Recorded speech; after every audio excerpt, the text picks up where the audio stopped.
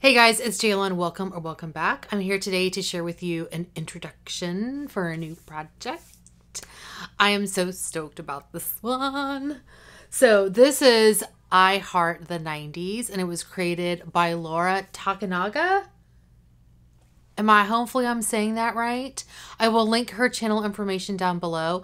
This is a Pantastic Ladies Club Facebook project. I didn't mention that at the beginning. I'm just so excited about this project. because I was born in the 70s, you know, and then grew like had my teen years in the 90s and I I'm so excited. I love I love of course I created the 80s project, the Child of the 80s project and I was so happy to see this year that there was a 90s project because I was like I don't I didn't want to put together the prompts for it. But I'm so happy that somebody else took it on. And thank you, Laura, for creating a project about the 90s. I'm so excited. So, Laura created a project with, uh, let's see, how many prompts? There are 40 prompts, and we are to choose 8 to 10 items to start. And it's a rolling style project. So, when you roll things out, you roll in new prompts and there will be monthly updates and this is a year long project. So it started on the 1st of january. I'm just now getting to film it. It's the 5th currently. Just so kind of trying to make it fit in my filming schedule. I'm not exactly sure 100% when this is going up. I'm thinking like the 7th or 8th aroundish that time frame. We'll see if i can make it happen.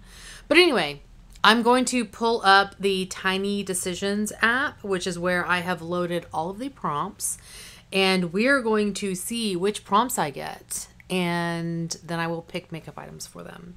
So let me pull this up and I have to remember to count because I didn't count last time.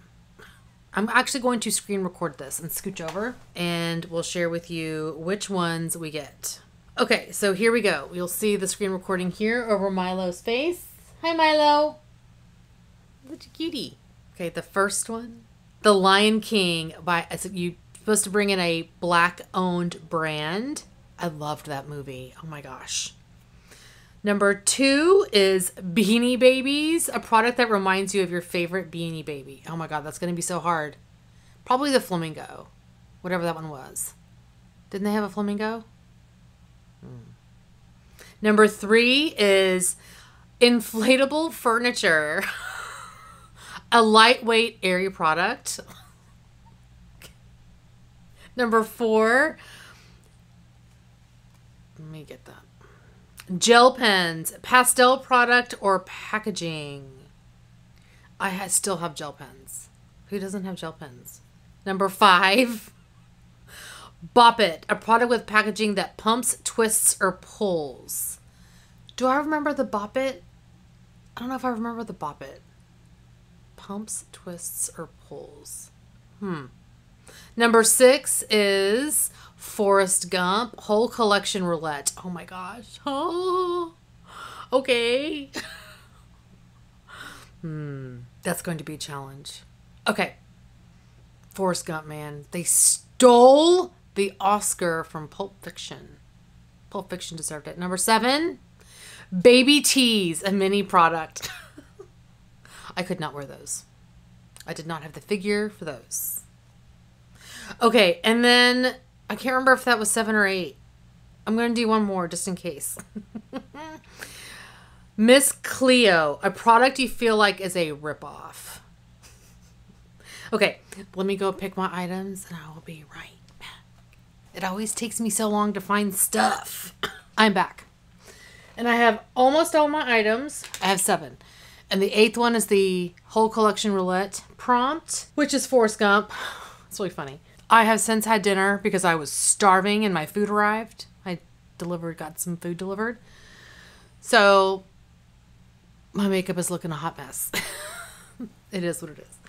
All right, let me pull up my whole collection roulette wheel. So I have this on a website called Wheel of Names, and I excluded things like lip balms, mascaras, brow products because I don't want to have like those products open more than what I already have open. I'm trying to think of what else I left out. That's pretty much the gist. Concealers, I think I took out. So, yeah, everything else is in here. So, let's see what we get. Oh my god. And I'm going to use this 10 times. Whatever it is. Makeup Forever Ultra HD Cover Foundation in Ivory.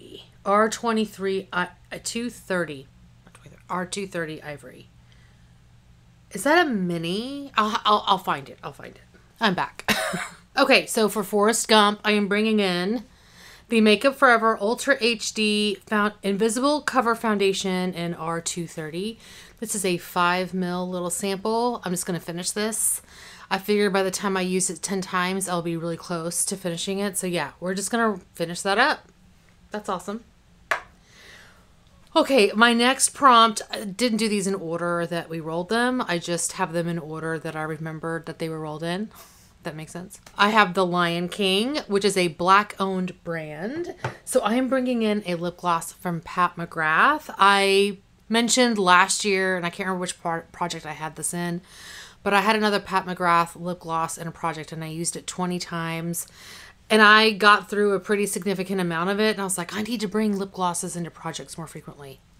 So, this is the Lust Gloss Lip Gloss in Secret Lover.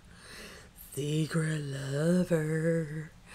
This is beautiful. And I figured it's a great color for the winter. I'm not going to use this 20, but I am going to use this 10. The next prompt is Beanie Babies, a product that reminds you of your favorite Beanie Baby. I really wasn't the Beanie Baby age. Like I think by the when Beanie Babies came out, I was older, but I did have a few, and I think I'm going to choose the flamingo as I mentioned whenever it was whenever I was picking my prompts because my my college sorority was a local sorority and our mascot was the flamingo so i know that i would love the flamingo.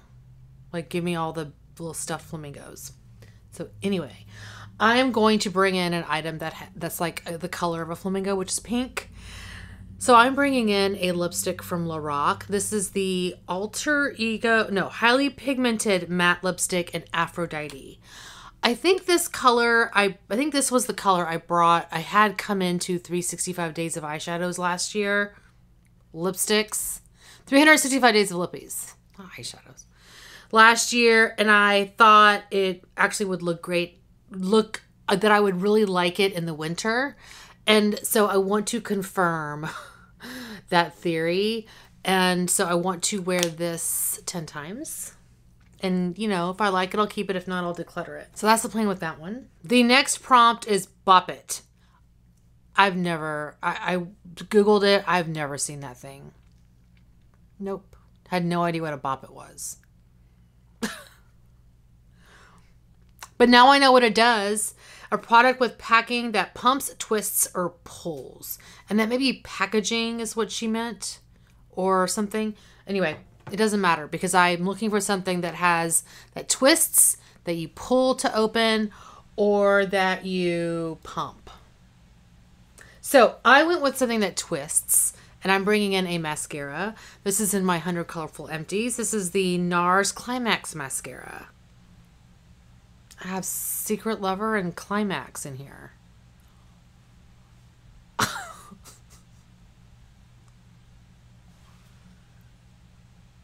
Climax Mascara by NARS. I'm not being dirty. This is a mini. I want to finish this. Wow. Where did that, how did that, how did this get to be so sexual? Okay. The next prompt is Miss Cleo, a product you feel like is a ripoff. Miss Cleo. Okay, that prompt is really freaking funny. A product you think is a ripoff. Okay. So I purchased this product. I recently showcased it in a haul. Showcased it in a haul. And so I own it, of course, and I am very excited to have it in my collection. At full price, it's a ripoff, in my opinion. At sale price, give it to me because I got this like 35% off. So I have this by Pat McGrath. another Pat McGrath product.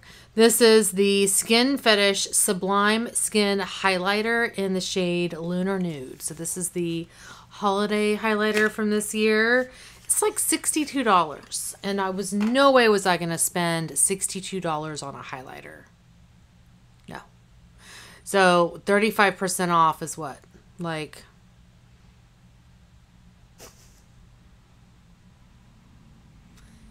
20 bucks. So 40 bucks. I can do $40. 62 was a little bit high. Anyway, here we go. Ooh, look at that reflective packaging. Hello. You can see my camera. Let me, me here we go.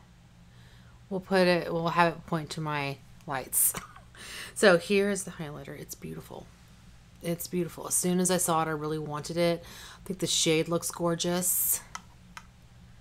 Where did I swatch it last time? I want to use this 10 times.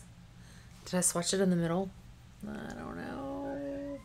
I mean, I shouldn't have makeup just to look at, right? I should have makeup to like play with. I don't know. Mm.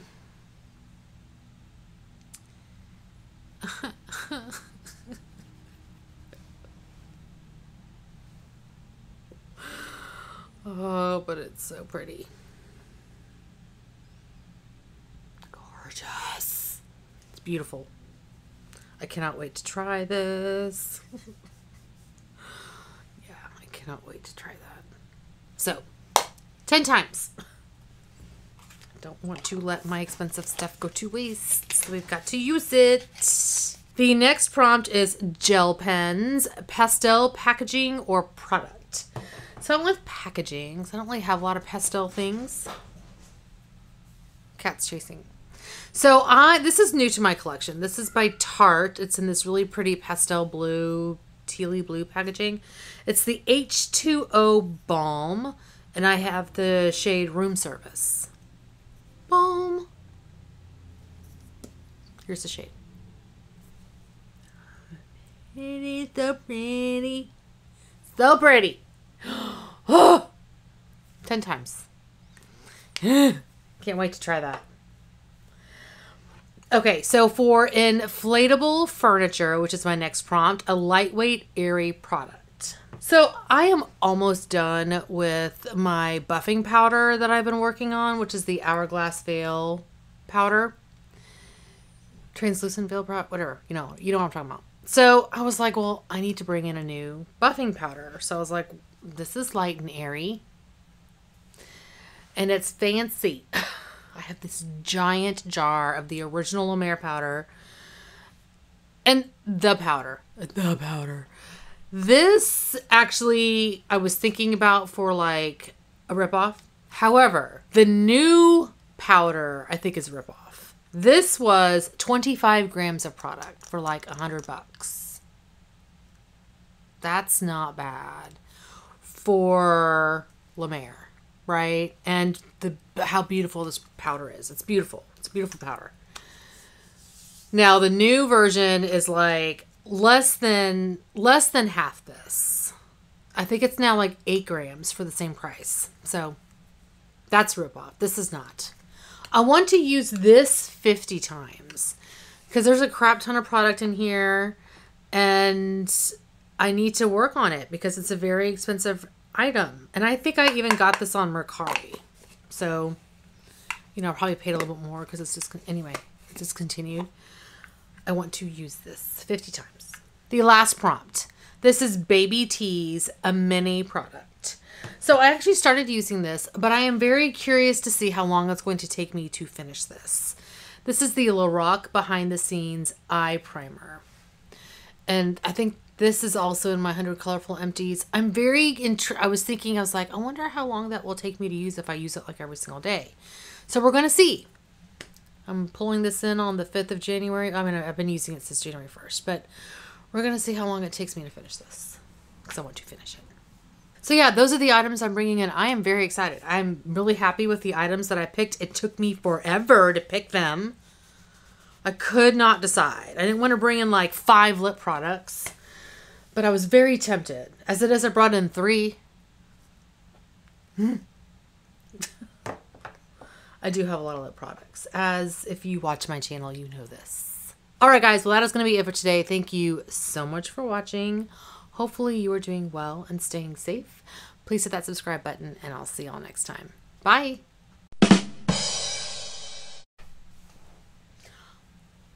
Milo's here.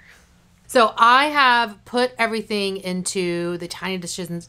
I'm going to pull up the tiny decision decisions. I keep saying that. I'm, I have a hard time saying tiny decisions. Look at Milo's. He's all hanging out on the bed. Being all cute. So I really wasn't the beanie beanie. The last item and the last prompt is for the